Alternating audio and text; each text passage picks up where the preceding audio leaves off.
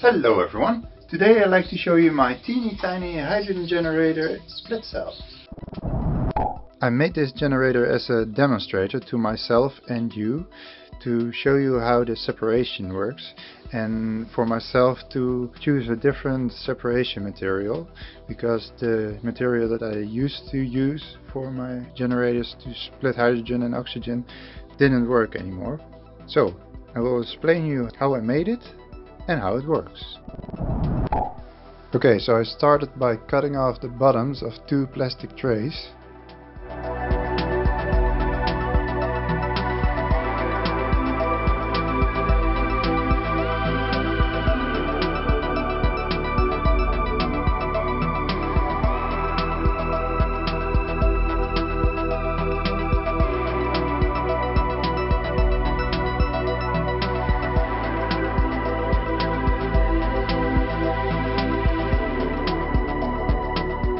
Then I smoothened out the edges with a little bit of sanding paper.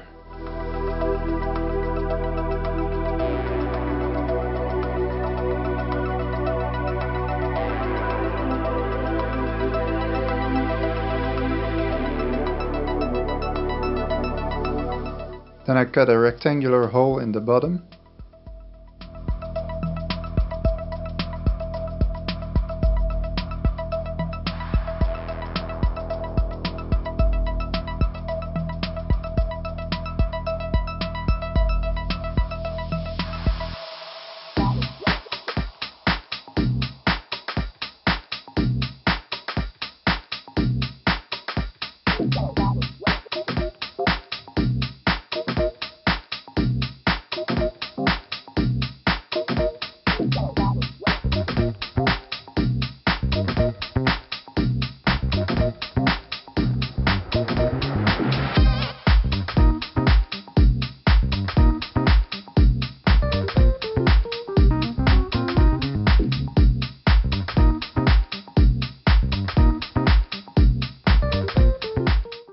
then I sanded the bottom so it would be nice and flat.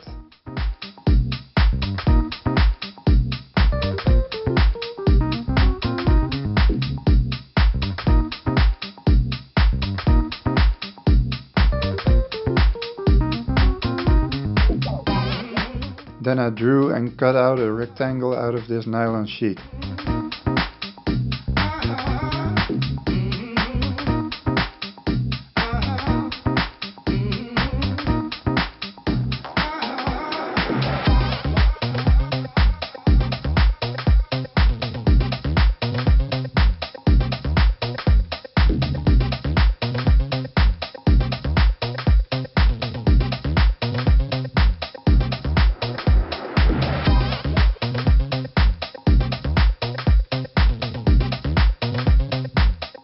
I applied some two component resin to the bottom sides.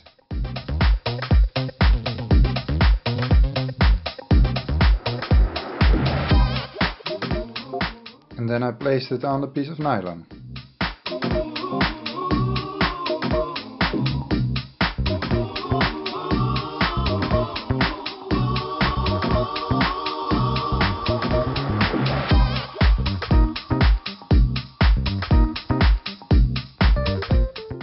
I sanded these two pieces of stainless steel to increase the surface area.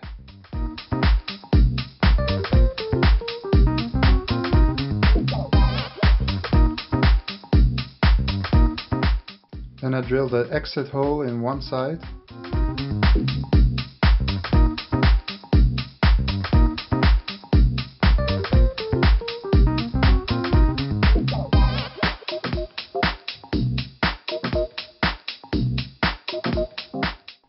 the other side.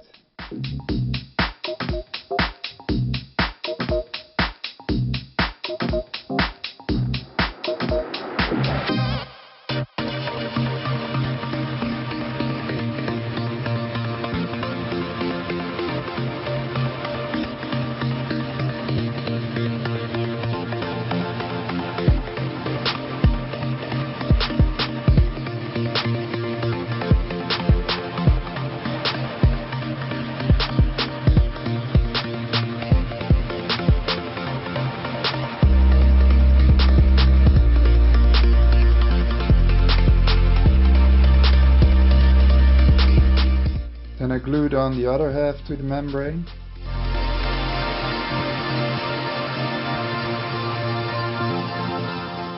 And I made sure that the sides were completely sealed. Then I degreased the stainless steel plates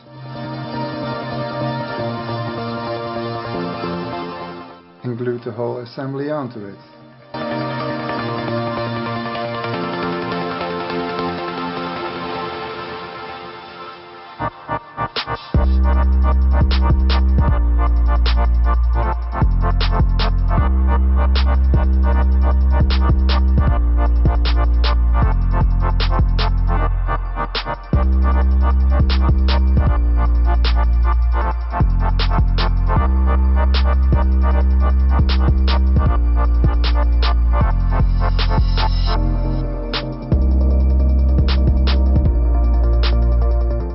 I glued in the hoses.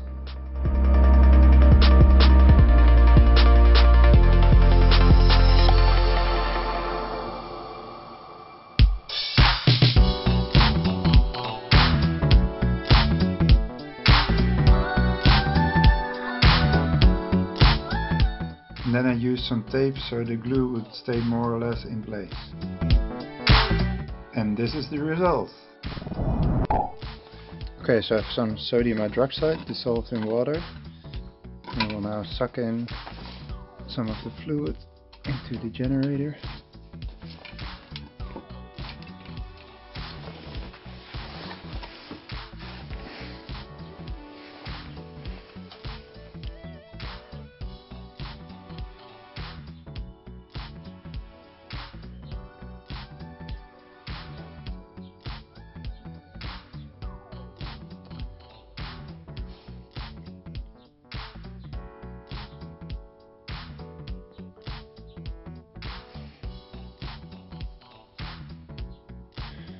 Okay, that will be enough. Okay, so I've attached the power supply and uh, negatives on this side and positive on that side. So hydrogen will be generated on this side. So let's apply voltage. I'm not going above 3 volts because if I increase the voltage too much then the generator will get too hot and it will break because the metal will expand more than the plastic and therefore it will and then the glue will crack and it will start leaking. So we'll keep it at a low voltage. And of course there's still some normal air on this side so we'll just first let it vent and then I will put the tube in this soapy water so we can make hydrogen bubbles just to demonstrate. So now let some of the hydrogen bubble out on this side and of course this already proves that the separation works because this side of the hose is open and this side has to blow into the water pressure. And you can see here now that there's a difference in water level. So let's see if this is hydrogen. This one is way low.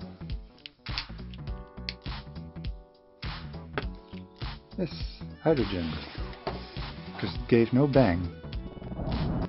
You can see here that if I take out the hose and the level comes more or less equal again. put it on the water and it starts to rise again. So now it needs to build the pressure on this side because it needs to push down the water on this side. Yes, pure hydrogen. Okay, so that works. This is my big hydrogen generator and unfortunately the separation system failed. In a couple of videos ago I explained how I test if the separation still works so if you want to see that go click the link here and if you want to see the hydrogen generator and compressor unit completely explained then click this link.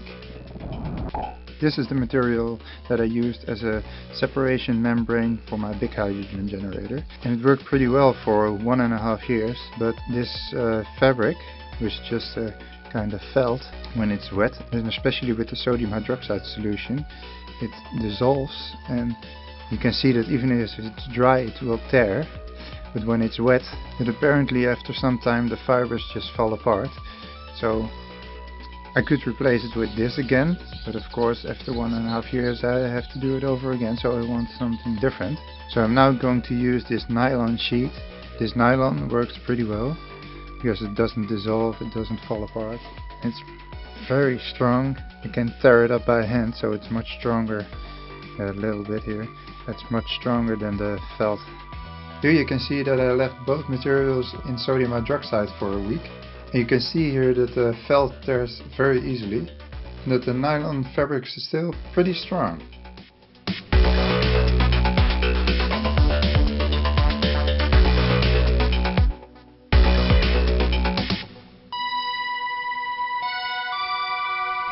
So this is what I used for this hydrogen generator.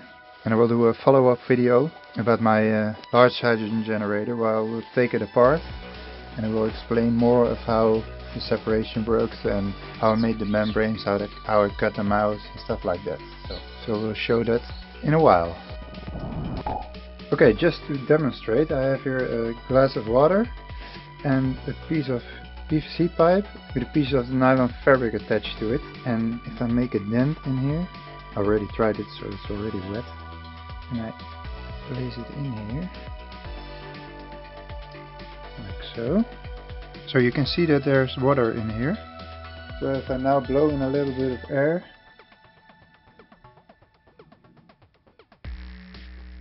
it will stay under the fabric.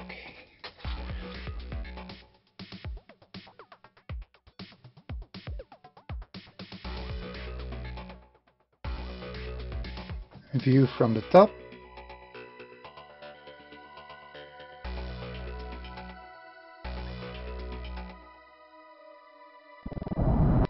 Now the way this separation works is that the wet fabric doesn't let through any gas. That's because the surface tension in between the fibers prevents them to do that. That's because at a depth of about 5 centimeters the water pressure is of course very low and because the surface tension space that the fibers create is extremely small, therefore the pressure for that area is also extremely small and is not able to break the surface tension. And because the fabric is wet it conducts electricity without any measurable resistance. Okay, that's it everyone. Thanks for watching. Please like, share and subscribe. Check me out on Facebook and Instagram and see you next time.